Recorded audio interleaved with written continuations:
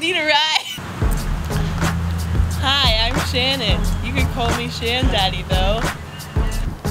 As secretary, I'll do these seven things and more. Care for others.